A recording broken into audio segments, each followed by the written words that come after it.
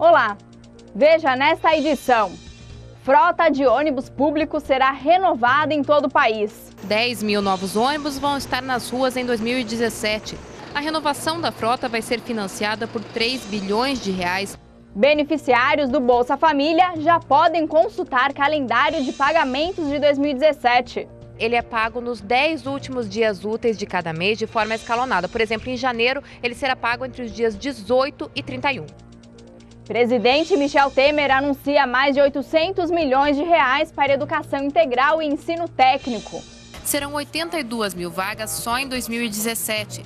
Outros 150 milhões de reais vão para o tempo integral. A meta é investir até 1 bilhão e meio de reais Cerca de 99% dos vegetais plantados no Brasil contêm a quantidade permitida de agrotóxicos, segundo o Ministério da Agricultura como funciona a nossa, o controle do agrotóxico, né?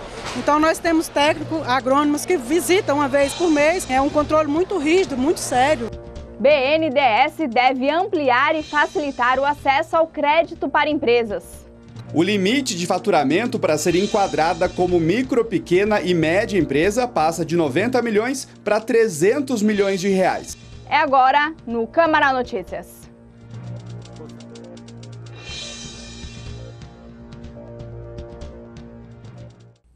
3 bilhões de reais vão ser investidos na renovação da frota de ônibus do transporte público. Um programa lançado pelo governo federal deve renovar 10% da frota em todo o país. Veja na reportagem. 10 mil novos ônibus vão estar nas ruas em 2017. A renovação da frota vai ser financiada por 3 bilhões de reais do Fundo de Garantia por Tempo de Serviço, o FGTS. Os recursos vão movimentar uma indústria que gera mais de 500 mil empregos.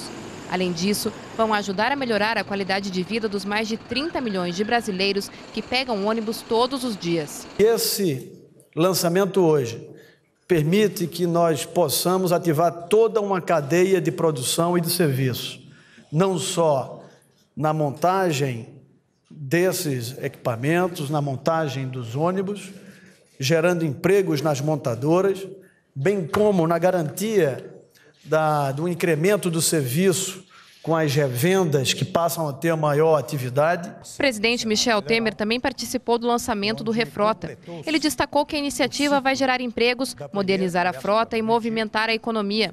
O presidente também anunciou que o Ministério da Indústria, Comércio Exterior e Serviços está estudando medidas para a renovação da frota de caminhões. Nós temos caminhões que têm 20, 22 anos de existência e há meios e modos de também obter a modernização dessa frota eh, de caminhões.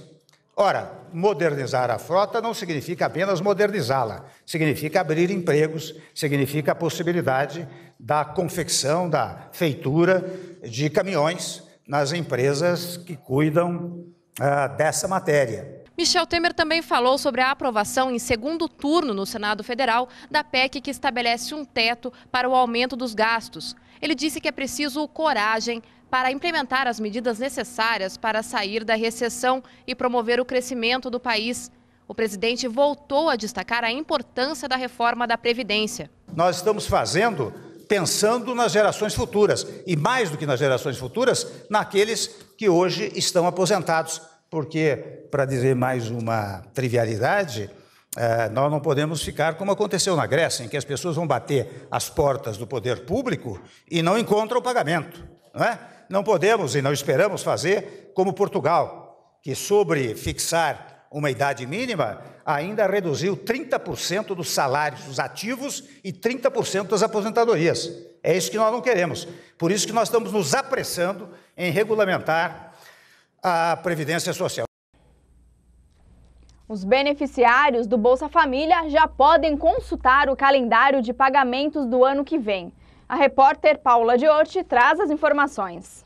O Bolsa Família ele é pago nos 10 últimos dias úteis de cada mês de forma escalonada. Por exemplo, em janeiro ele será pago entre os dias 18 e 31. O valor ele fica disponível para saque por 90 dias. Só nesse mês de dezembro, o Ministério do Desenvolvimento Social e Agrário disponibilizou 2 bilhões e 400 milhões de reais para 13 milhões e 500 mil famílias de baixa renda de todo o país. Para saber exatamente o dia em que a pessoa pode sacar o benefício, ela deve observar o último dígito do número de identificação social, o NIS, que vem impresso no cartão. Esse número ele dá a referência do dia em que a pessoa pode sacar. Mas se ela quiser mais informações sobre que dia sacar o benefício, pode acessar calendário Bolsa Família 2017.org. No próximo bloco, o presidente Michel Temer anuncia mais de 800 milhões de reais para educação integral e ensino técnico serão 82 mil vagas só em 2017. Outros 150 milhões de reais vão para o tempo integral. A meta é investir até 1 bilhão e meio de reais. Cerca de 99% dos vegetais plantados no Brasil contêm a quantidade permitida de agrotóxicos, segundo o Ministério da Agricultura como funciona a nossa, o controle do agrotóxico, né? Então nós temos técnicos agrônomos que visitam uma vez por mês, é um controle muito rígido, muito sério. É daqui a pouco.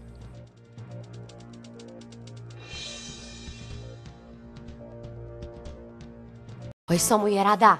Se hoje for dia de bebedeira, não vá fazer besteira não, hein? Tipo pegar a estrada ou pegar carona com quem bebeu. Melhor terminar a noite solteira. Se cuida, mulher.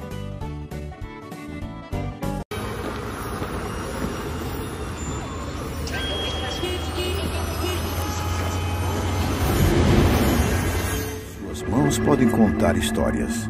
Suas mãos podem mudar histórias.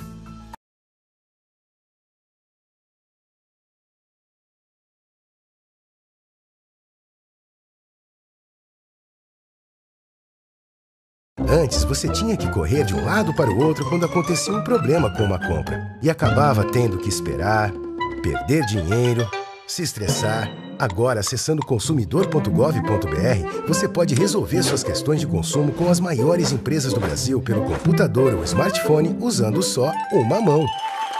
Oito em cada dez casos resolvidos em até sete dias. Pesquise, reclame, resolva. Consumidor.gov.br. Conciliação tá na mão.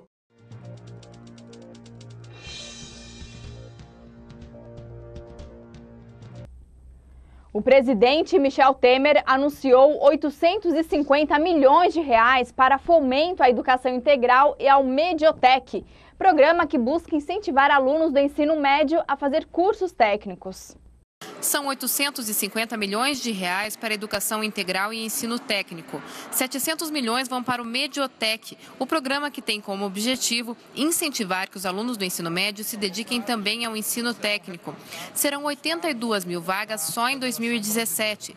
Outros 150 milhões de reais vão para o tempo integral. A meta é investir até 1 bilhão e meio de reais para a criação de 500 mil novas vagas nos próximos anos. Os recursos liberados fazem parte do novo ensino médio, que tem como objetivo estabelecer o turno integral, flexibilizar a grade curricular de acordo com o perfil do aluno e oferecer formação profissional.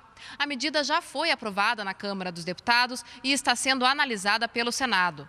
Hoje estudamos muito pouco de tudo. Não temos aprofundamento e nem embasamento mais sólido de nenhuma área. Por isso, senhor presidente, faço parte dos jovens que desejam mudanças urgentes na educação, acompanhado de um projeto inovador.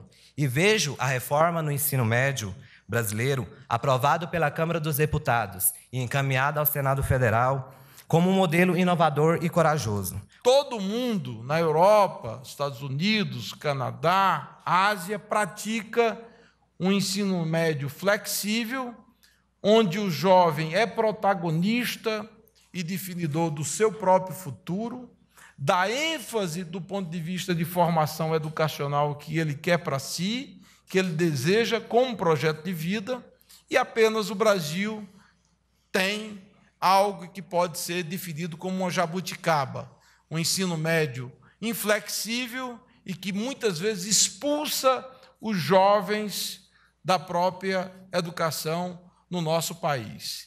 O presidente Michel Temer destacou que o governo tem aliado responsabilidade social, como os investimentos em educação, com responsabilidade fiscal, como estabelecer um teto para o aumento dos gastos públicos. O objetivo é trabalhar para criar oportunidades para todos, né? especialmente no momento, convenhamos, aproveito para dizer, que o país atravessa momentos difíceis. Né? Um número infindável de desempregados, eh, dificuldades muitas vezes de natureza eh, política, mas que ao invés de nos eh, impedir, estas dificuldades nos, nos mobilizam, nos vitalizam, nos dão força para continuar, porque a nossa tarefa no governo é fazer precisamente o que estamos fazendo aqui, ao lado da educação, saúde, cultura e outros tantos temas, é? nós temos que fazer o país crescer. Segundo o Ministério da Agricultura, Pecuária e Abastecimento, cerca de 99% dos vegetais produzidos no Brasil contém a quantidade máxima de agrotóxicos permitida por lei. A reportagem é de Beatriz Amiden. Maria e toda a família vivem do dinheiro que ganham com a venda dos produtos que cultivam na propriedade dela, que fica no entorno do Distrito Federal. Para ser bem claro, nós vivemos somente da, da roça, nós vivemos somente da, da parte de, de, de verdura, de comércio e verdura. Mas o ofício de plantar, que vem sendo passado de geração em geração na família da Maria, é levado muito a sério por lá. Todos se informam sobre as melhores técnicas de cultivo e o que se pode ou não fazer. Como funciona a nossa, o controle do agrotóxico, né? Então nós temos técnicos agrônomos que visitam uma vez por mês. É um controle muito rígido, muito sério. E a Maria não é exceção. De acordo com o Ministério da Agricultura, Pecuária e Abastecimento, 99% dos vegetais produzidos no Brasil contém a quantidade máxima de agrotóxicos permitidas pela lei. E a meta de 100% está perto de ser atingida. A gente é, reconhece que tem avanços grandes nos últimos 20 anos, mas tem que continuar perseguindo isso e está conectado com o que o mundo tem identificado de, de risco e perseguir a descontinuidade e substituição de produtos de alto risco por produtos de menor risco é uma, é uma meta que visa atingir o mesmo objetivo que nós atingimos agora Uh, depois de 15 anos do programa de resíduos. E o empresário Valdemir Dutra, que está sempre comprando vegetais para o seu restaurante, fica tranquilo em saber que está levando produtos de qualidade para a mesa dos seus clientes. Claro que preço é importante, mas junto com o preço tem o padrão de qualidade. Depois do intervalo, BNDES deve ampliar e facilitar o acesso ao crédito para empresas. O limite de faturamento para ser enquadrada como micro, pequena e média empresa passa de 90 milhões para 300 milhões de reais. E ainda tem a previsão do tempo para a Grande São Paulo. Até já.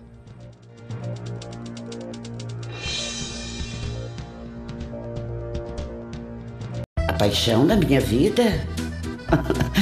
oh, a Fifi, minha cadelinha que eu encontrei na rua. A Fifi adora brincar com outros cachorros. Passear pelo bairro. O que ela mais detesta é tomar banho. E a coisa que ela mais adora é criança. Ela é um amor. Quem cria nem sempre vê o que há de errado. Por isso, a propaganda precisa do Conar. Graças à economia voluntária feita pela população, estamos mantendo o abastecimento de água para os nossos clientes, mesmo durante a maior falta de chuva dos últimos 84 anos. Mas a seca continua, assim como o desafio de todos nós. Por isso, estamos ampliando o bônus para as 31 cidades atendidas pela Sabesp na região metropolitana. Quem economizar 20% vai ganhar 30% de desconto na conta de água. Com o esforço de todos, podemos fazer muito mais. Água, sabendo usar, não vai faltar.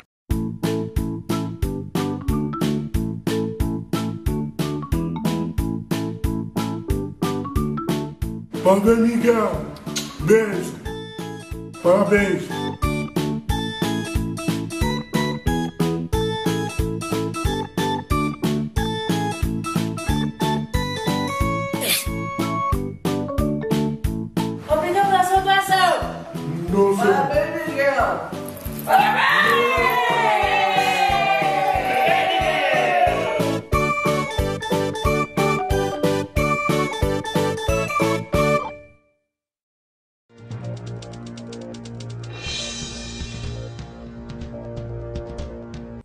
Novas medidas do Banco Nacional de Desenvolvimento Econômico e Social, o BNDES, devem simplificar e ampliar o acesso ao crédito para micro, pequenas e médias empresas. O repórter Leonardo Meira tem as informações. O desemprego levou a costureira Francisca para a reciclagem, mas foi o faro para o negócio que a transformou em empreendedora reconhecida e até premiada. Há 10 anos, ela criou a cooperativa Fênix Agape em Itaim Paulista, na região metropolitana da capital. E faz quatro anos que ela abriu uma filial do negócio na cidade natal Banabuiú, no interior do Ceará. Só na filial paulista, todo mês, cerca de 100 toneladas de resíduos garantem o sustento das famílias de mais de 40 cooperados. Foi o desemprego que me levou a ir para a rua e, e, eu vi na rua uma oportunidade, não só de sustentar minha família, mas como inserir outras pessoas. E para equipar as cooperativas, Francisca contou com auxílio de microcrédito do BNDES. Para acessar os recursos, os cooperados montam grupos e assim conseguem mais dinheiro para comprar equipamentos e investir no negócio. Com essa oportunidade eu consegui o quê? Consegui expandir o negócio e beneficiar bem mais pessoas, né? E também lá no Nordeste tem pessoas que fazem esse crédito também. Entendeu?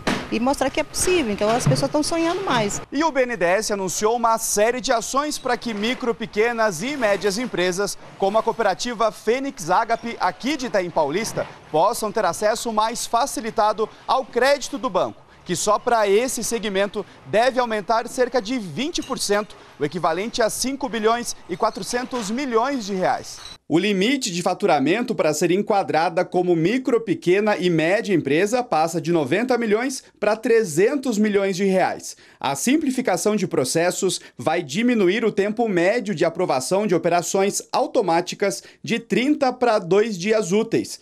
O limite máximo do cartão BNDES vai dobrar e chegar a 2 milhões de reais. Os produtores rurais também vão ser beneficiados com a versão agro do cartão. O micro, pequeno e médio empreendedor vai ganhar um portal de relacionamento exclusivo na internet. O lançamento está previsto para o primeiro semestre de 2017. O objetivo desse plano de ação é materializar o foco prioritário do banco, que é o apoio à pequena e média empresa, micro, pequena e média empresa.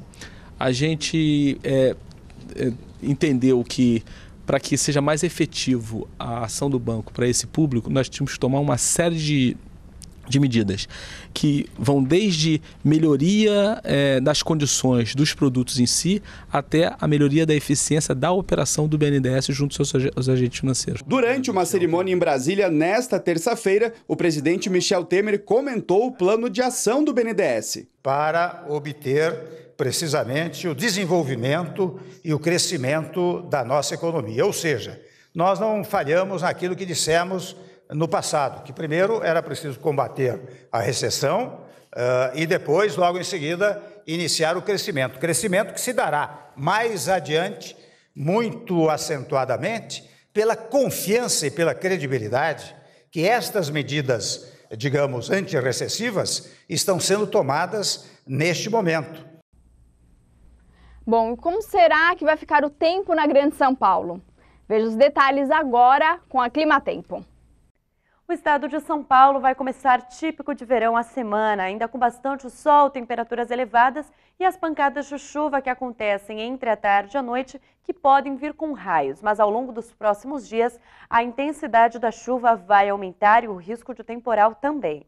Na capital, a mínima prevista para esta segunda-feira é de 19 graus e máxima de 32 graus. Em Guarulhos, mínima de 18 e máxima de 33 graus. Por hoje é só. O Câmara Notícias fica por aqui. Nós nos vemos na próxima edição, hein? Até lá!